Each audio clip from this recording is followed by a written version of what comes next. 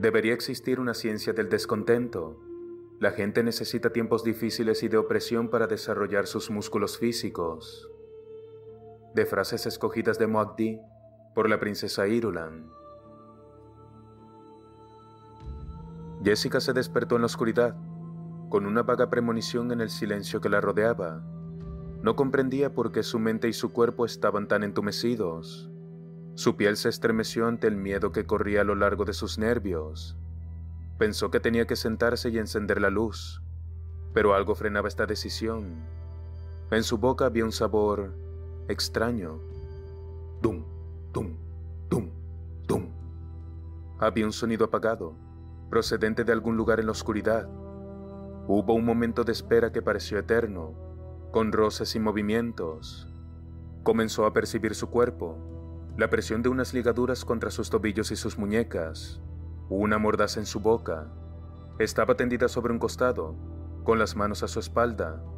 Probó las ligaduras, dándose cuenta de que eran fibras de Krinskel, que se apretarían cada vez más a medida que intentara tirar de ellas. Y entonces recordó, había habido un movimiento en la oscuridad de su dormitorio. Algo húmedo y acre se había aplastado contra su rostro, oprimiéndole la boca y había intentado apartarlo con las manos. Había jadeado, sintiendo el narcótico a la primera inspiración. Había perdido la conciencia, hundiéndose en un negro abismo de terror. Ha ocurrido, pensó. Cuán simple ha sido vencer a una Ben Ha bastado la traición.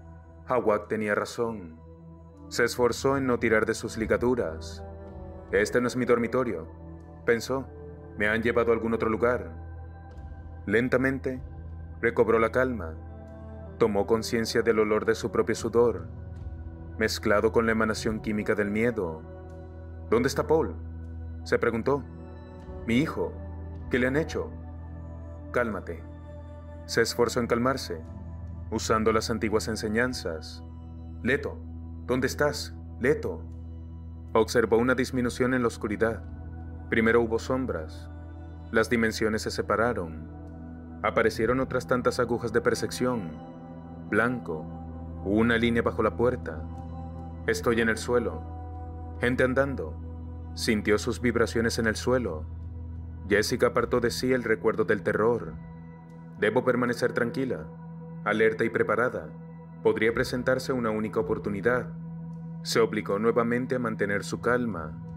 Los latidos de su corazón se hicieron más lentos y regulares, marcando tiempo Contó hacia atrás. He permanecido inconsciente cerca de una hora. Cerró sus ojos. Concentró su atención en los pasos que se acercaban. Cuatro personas. Analizó las diferencias de los pasos.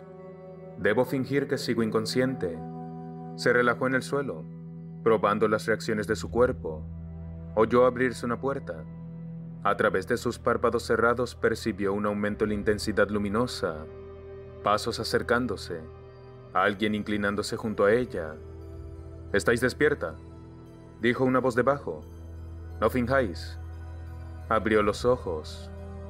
El varón Vladimir Harkonnen se erguía junto a ella. A su alrededor, reconoció la habitación del sótano donde había dormido Paul. Vio la cama a su lado, vacía. Unos guardias penetraron con lámparas a suspensor y las distribuyeron junto a la abierta puerta. En el corredor, más allá, había una luz tan intensa que le hizo daño a los ojos. Miró al varón. Llevaba una capa amarilla deformada por los suspensores portátiles. Sus gruesas mejillas de querubín estaban coronadas por dos ojos negros parecidos a los de una araña. ¿Cómo es posible? pensó. Tendrían que conocer mi peso exacto, mi metabolismo, mi yue. Es una lástima que debáis permanecer inmovilizada, dijo el varón. Hubiéramos sostenido una interesante conversación. Yu es el único que puede haberlo hecho, pensó. ¿Pero cómo? El varón echó una ojeada a su espalda, hacia la puerta. Entra, Peter. Jessica no había visto nunca al hombre que entró en aquel momento y se situó junto al varón, pero su rostro le era conocido, y su nombre, Peter de Bris, el mentado asesino. Lo estudió. Facciones de halcón. Ojos azul oscuro que sugerían que era nativo de Arrakis. pero las sutiles diferencias en sus gestos y en sus movimientos lo desmentían. Su carne estaba demasiado llena de agua. Era alto, delgado y vagamente afeminado. Es un pecado que no pueda conversar con vos, mi querida dama Jessica, dijo el varón. De todos modos, estamos al corriente de vuestras habilidades. Miró al mentad. ¿No es así, Peter? Exactamente como lo decís, varón, dijo el hombre. Su voz era de tenor. Jessica sintió un toque de olor en su espina dorsal. Nunca antes había oído una voz tan fría. Para una Van de aquella voz gritaba, Asesino. Tengo una sorpresa para Peter, dijo el varón. Cree que ha venido aquí a recoger su recompensa. Vos, dama Jessica. Pero quiero demostrarle una cosa, que en realidad no os desea. ¿Estáis jugando conmigo, varón? Preguntó Peter, y sonrió. Viendo aquella sonrisa, Jessica se preguntó cómo el varón no había saltado en guardia para defenderse contra Peter. Luego rectificó. El varón no podía leer aquella sonrisa. No poseía el adiestramiento. Bajo muchos aspectos, Peter es un ingenuo, dijo el varón. No quiere admitirse a sí mismo la mortal criatura que sois vos, dama Jessica. Me gustaría mostrárselo, pero sería correr un riesgo estúpido. El varón sonrió a Peter, cuyo rostro se había convertido en una máscara de espera. Sé lo que Peter quiere realmente, Peter quiere el poder. Me prometisteis que la tendría ella, dijo Peter. La voz de tenor había perdido parte de su fría reserva. Jessica captó las señales premonitorias en la voz del hombre y sintió un profundo estremecimiento. ¿Cómo ha podido el varón convertir a un mentad en ese animal despiadado? Te ofrezco una elección, Peter, dijo el varón. ¿Qué elección? El varón chasqueó sus gruesos dedos. Esa mujer y el exilio fuera del imperio, o el ducado de los Atreides en Arrakis para gobernarlo en mi nombre del modo que creas oportuno. Jessica observó cómo los ojos de araña del varón estudiaban a Peter. Aquí podrás ser duque sin necesidad de poseer el título, dijo el varón. Entonces Mileto está muerto, se preguntó Jessica. En alguna parte de su mente, muy profundo, se alzó un silencioso lamento. El varón tenía toda su atención concentrada en el mentad. Compréndete a ti mismo, Peter. La quieres porque era la mujer de un duque, el símbolo de su poder, hermosa, útil, exquisitamente adiestrada para su papel, pero todo un ducado, Peter. Esto es mucho mejor que un símbolo, es una realidad. Con él podrás tener todas las mujeres que quieras, y más aún. No estáis jugando con Peter, el varón se volvió con aquella ligereza de bailarín que le daban los suspensores. ¿Jugar? ¿Yo? Recuerda, he renunciado al chico. Has oído lo que ha dicho el traidor acerca de su adiestramiento. Ambos son parecidos, madre e hijo, mortalmente peligrosos. El varón sonrió. Ahora debo irme. Te enviaré al guardia que he reservado para este momento. Es completamente sordo. Sus órdenes son acompañarte durante el primer tramo de tu viaje hacia el exilio. Matará a esa mujer si se da cuenta de que te está controlando. No te permitirá quitarle la mordaza hasta que estéis muy lejos de Arrakis. Si eliges no irte, entonces tiene otras órdenes. No os vayáis, dijo Peter. Ya he elegido.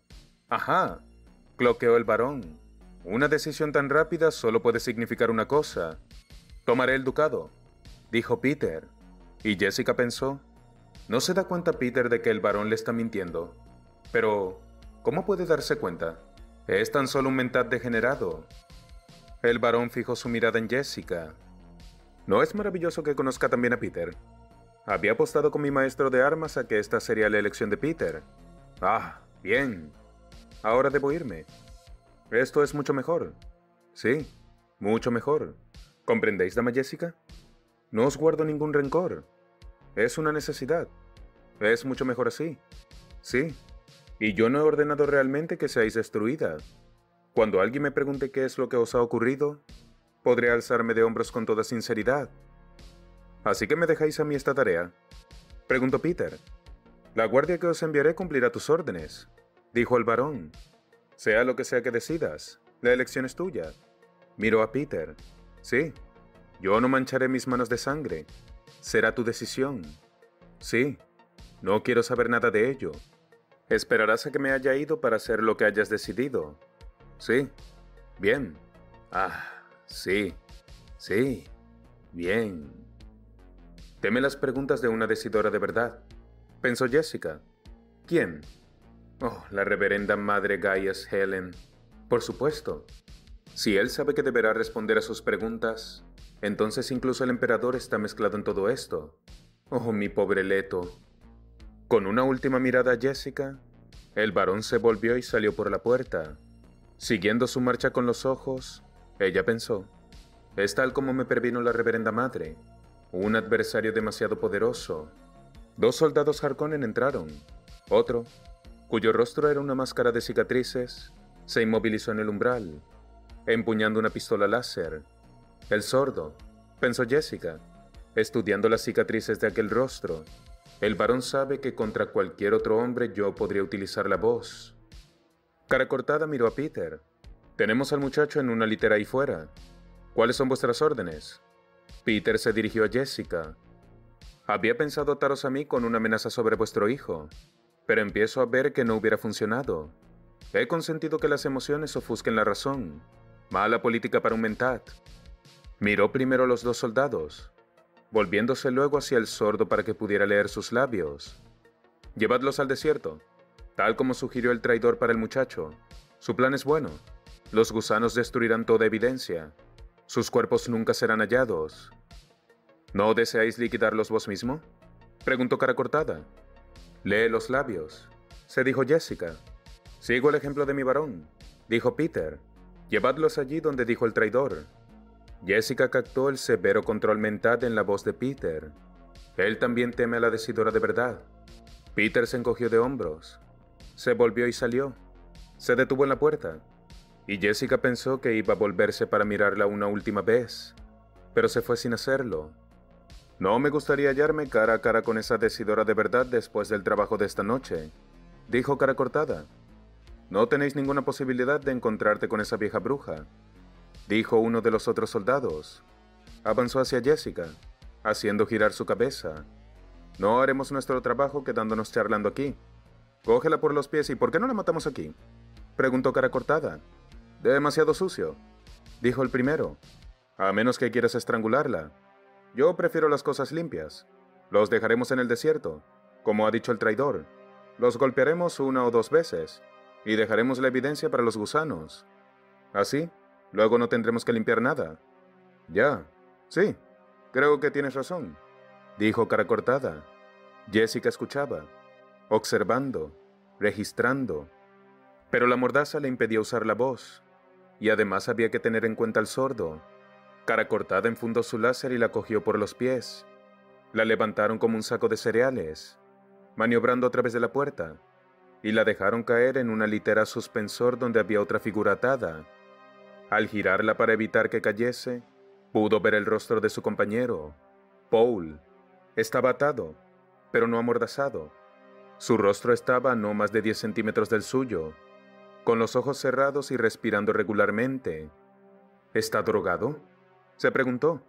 Los soldados levantaron la litera, y los ojos de Paul se abrieron por una fracción de segundo. Dos líneas oscuras que la miraron. No debo utilizar la voz, rogó ella, el soldado sordo.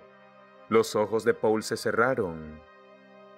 Había utilizado la respiración controlada para calmar su mente, sin dejar de escuchar a sus captores.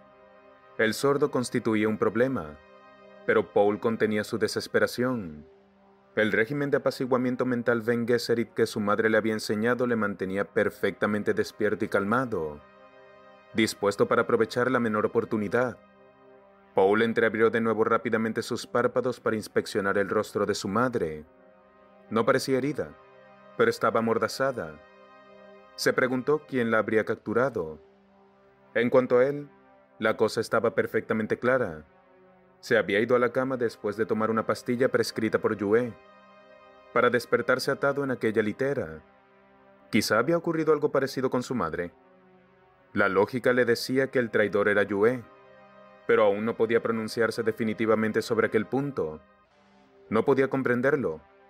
Un doctor Suk, un traidor. La litera se inclinó ligeramente mientras los soldados Harkonnen maniobraban para franquear una puerta que conducía a una noche estrellada. Una boya suspensora raspó contra el quicio. Después estuvieron sobre la arena, que chirrió bajo sus pasos. El ala de un tóctero apareció ante ellos, bloqueando las estrellas. La litera fue depositada en el suelo. Los ojos de Paul se adaptaron a la débil claridad. Reconoció al soldado como al hombre que abría la puerta del tóctero y se inclinaba hacia la débil iluminación verdosa del tablero de sus instrumentos. ¿Es este el tóctero que se supone debemos utilizar? Preguntó, volviéndose para observar los labios de sus compañeros. El traidor ha dicho que era uno de los que estaban preparados para el desierto, dijo otro. Cara cortada sintió. Pero es uno de los utilizados para distancias cortas.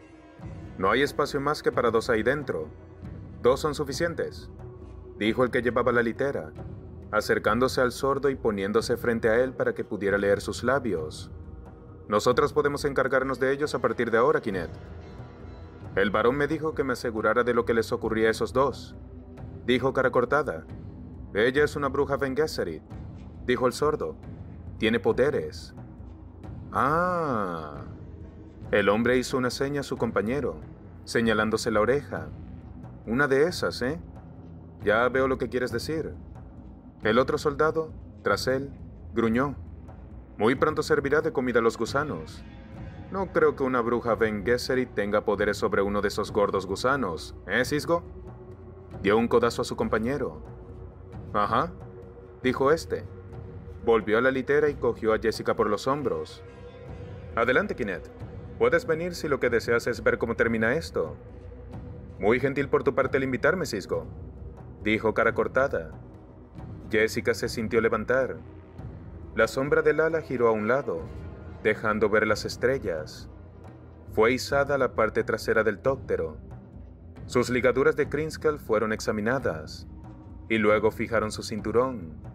Paul fue colocado a su lado, asegurado cuidadosamente, y entonces observó que sus ligaduras eran de cuerda normal. Cara cortada, el sordo que había sido llamado Kinet ocupó su lugar delante. El que había conducido la litera, que había sido llamado Cisgo, dio la vuelta al aparato y ocupó el otro asiento delantero. Kinet cerró la puerta y se inclinó sobre los controles. El tóctero levantó el vuelo con las alas replegadas, dirigiéndose al sur por encima de la muralla escudo. Cisgo palmeó el hombro de su compañero y le dijo, ¿Por qué no te vuelves y echas una mirada a esos dos? ¿Sabes hacia dónde tenemos que ir? Kinet no dejó de mirar los labios de Cisgo.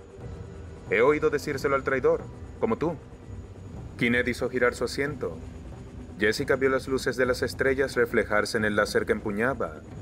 Sus ojos iban acostumbrándose a la pálida luminosidad del interior del ornitóptero pero el rostro lleno de cicatrices del guardia permanecía en las sombras. Jessica comprobó el cinturón de su asiento y descubrió que estaba flojo. Notó que estaba deshilachado a la altura de su brazo izquierdo y se dio cuenta de que había sido casi seccionado allí y que cedería al primer movimiento brusco. ¿Alguien ha venido antes a este tóctero y lo ha preparado para nosotros? Se preguntó. ¿Quién? Lentamente, apartó sus atados pies de los de Paul. Es realmente una lástima desperdiciar a una mujer tan hermosa como esta, dijo cara cortada. ¿Nunca has poseído a una de la nobleza? Se volvió a mirar al piloto. Las Ben no son siempre nobles, dijo el piloto, pero todas tienen ese aspecto. Puede verme bien, pensó Jessica. Levantó las atadas piernas y las apoyó en la silla, encogiéndolas y mirando a cara cortada. Realmente hermosa. Sí, señor, dijo Kinet. Se humedeció los labios con la lengua. Es realmente una lástima. Miró a Cisco. ¿Piensas lo que yo pienso que estás pensando? Preguntó el piloto. ¿Quién lo sabrá nunca? Preguntó el guardia. Luego, se alzó de hombros. Nunca he poseído a ninguna noble. Quizá nunca más en mi vida tenga una oportunidad como esta. Si te atreves a poner una mano sobre mi madre, gruñó Paul. Miró furiosamente a cara cortada. ¡Hey! El piloto se echó a reír. El cachorro ladra, pero de todos modos no puede morder. Y Jessica pensó, Paul da un tono demasiado agudo a su voz, pero de todos modos podría funcionar. Siguieron volando en silencio. Esos pobres idiotas, pensó Jessica, estudiando a sus guardias y evocando las palabras del varón. Serán asesinados apenas terminen de informar del éxito de su misión. El varón no quiere testigos. El tóctero sobrevoló las crestas de la muralla escudo, y Jessica distinguió debajo de ellos una extensión de arena dibujada por las sombras de la luna. Debemos estar ya bastante lejos, dijo el piloto. El traidor dijo que los depositáramos en la arena en cualquier lugar cerca de la muralla escudo. Inclinó el aparato en su largo descenso hacia las dunas, y después lo detuvo en su vertical. Jessica vio que Paul iniciaba sus ejercicios respiratorios para recuperar el dominio de sí mismo. Cerró sus ojos, los volvió a abrir. Jessica lo miró, impotente para ayudarle. Todavía no tiene el pleno dominio de la voz. Pensó, si fracasa, el tóctero tocó la arena con una blanda vibración. Y Jessica, mirando hacia el norte, hacia la muralla escudo, vio una sombra alada que se posaba más allá fuera de su vista. Alguien nos sigue. Pensó. ¿Quién? Y luego, los que ha enviado el varón para vigilar a estos dos. Y a su vez habrá otros para vigilar a los que vigilan. Cisgo paró los rotores de las alas. El silencio flotó sobre ellos. Jessica volvió la cabeza. En el exterior, más allá de cara cortada, la débil luz de la luna bañaba una cresta rocosa color de hielo clavada en las arenosas dunas. Paul carraspeó. ¿Y ahora qué, Kinet? Preguntó el piloto. No sé, Cisco. Ah, mira, dijo Cisco, volviéndose. Avanzó su mano hacia la falda de Jessica. Suéltale la mordaza, ordenó Paul. Jessica sintió las palabras rodar por el aire. El tono, el excelente timbre, imperativo, cortante. Un poco menos agudo hubiera sido aún mejor, pero de todos modos había alcanzado el espectro auditivo del hombre. Cisgo dirigió su mano hacia la banda alrededor de la boca de Jessica y comenzó a soltarla. ¡Deja esto! Ordenó Kinet. ¡Ah, cierra el pico! dijo Cisgo. Tiene las manos atadas. Deshizo el nudo, y la banda cayó al suelo. Sus ojos relucían mientras examinaba a Jessica. Kinet puso una mano en el brazo del piloto. Mira, Cisgo, no necesitamos... Jessica volvió la cabeza y escupió la mordaza. Habló en voz muy baja, en un tono íntimo. Caballeros, no necesitan pelear por mí. Se movió al mismo tiempo, contoneándose sensualmente en beneficio de Kinet. Vio que la tensión entre ambos aumentaba y supo que en aquel instante estaban convencidos de la necesidad de pelear para obtenerla. Su desacuerdo no necesitaba otras razones. En sus mentes ya peleaban por obtenerla. Levantó su cabeza a la luz de los instrumentos para estar segura de que Kinet podía leer sus labios. No deben estar en desacuerdo. Se apartaron el uno del otro, mirándose suspicazmente. Vale la pena pelearse por una mujer, pero el solo hecho de hablar, de estar allí, era ya la causa viviente de su pelea. Paul apretó los labios, obligándose a permanecer en silencio. Había utilizado su única oportunidad de servirse de la voz. Ahora, todo dependía de su madre, cuya experiencia era mucho mayor que la suya. Sí, dijo cara cortada. No hay necesidad de pelear por... Su mano salió disparada al cuello del piloto. El golpe fue detenido por un chasquido metálico que intersectó el brazo y prosiguió su movimiento hasta golpear violentamente el pecho de Kinet. Cara cortada gruñó sofocadamente y se derrumbó contra la portezuela. ¿Me creías tan estúpido como para no conocer este truco? Dijo Cisco. Levantó la mano, y la hoja de un puñal destelló reflejada por la luna. Ahora el cachorro, dijo, y se volvió hacia Paul. No es necesario, murmuró Jessica. Cisgo vaciló. ¿No preferiríais verme cooperar? Preguntó Jessica. Dale una oportunidad al muchacho. Sus labios se curvaron en una sonrisa. No tendrá muchas ahí afuera, en la arena. Dale solo esto. Y... Sonrió de nuevo. Descubrirás algo que valdrá la pena. Cisgo miró a izquierda, a derecha. Luego volvió su atención a Jessica. He oído lo que puede ocurrirle a un hombre en el desierto, dijo. El chico tal vez prefiera el puñal. ¿Acaso es demasiado lo que pido? imploró Jessica. Estás intentando engañarme, murmuró Cisco. No quiero ver morir a mi hijo, dijo Jessica. ¿Ese es un engaño?